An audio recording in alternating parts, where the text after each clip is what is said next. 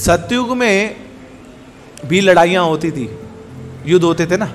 कहाँ का युद्ध होते थे?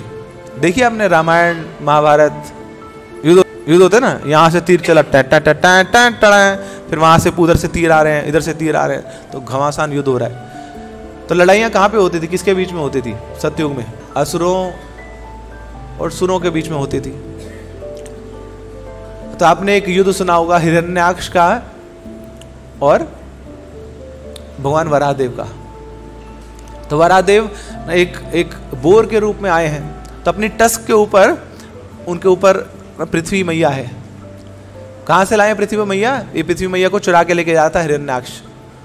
तो हिरण्याक्ष के साथ युद्ध किया भगवान ने और पृथ्वी की रक्षा करी। अब ये जो युद्ध कहाँ पे हो रहा है? एक प्लेनेट से दूसरे प्लेनेट के बीच में हो रहा है ना? पृथ्वी उठा ली तो है ना? तो interplanetary wars were going on तो इस सतयुग में ऐसे युद्ध हो रहे थे। एक ग्रह से दूसरे ग्रह के बीच में। फिर आया त्रेता युग। त्रेता युग में कहाँ का युद्ध हो रहा है? इंटरनेशनल है ना? तो यहाँ भगवान श्री रामचंद्र जी इधर है और उधर लंका है।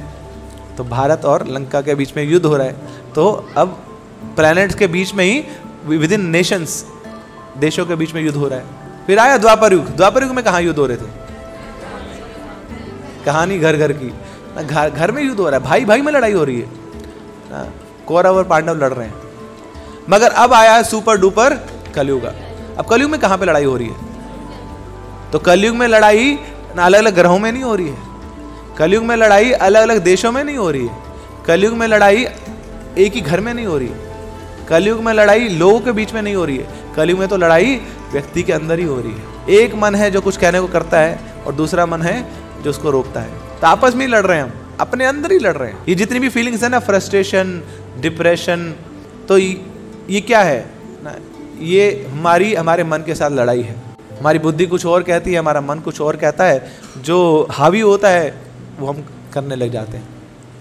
तो इस प्रकार मन में ही युद्ध चल रहा है। अब जब मन में युद्ध चलता है तो फिर ऐसा अस्त्र चाहिए जो मन पे वार करे। और मन पे वार कौन करता है? ना वो है मंत्रा। मगर अब क्योंकि ये कलयुग के मन है कोई साधारण मन नहीं है। कलयुग के मन एकदम घिसे पीटे गए गुजरे। तो ऐसे मनों के लिए उस पर विजय प्राप्त करने के लिए मंत्र भी ऐसे होना चाहिए। टॉप मोस्ट शिरोमणि। और वो मंत्र कौन सा है? वो है महामंत्र। कौन सा महामंत्र? हरे कृष्णा हरे कृष्णा कृष्णा कृष्णा हरे हरे। हरे राम हरे राम राम। राम, राम।